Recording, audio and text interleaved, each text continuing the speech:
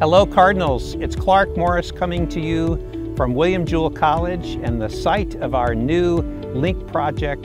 Phase one includes the replacement of our stadium. We are so excited for this transformational project for our students.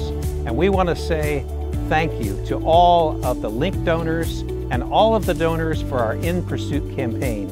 We have reached our $75 million goal and we've had so much success and generosity from our donors that we're extending our goal to $100 million. Thank you.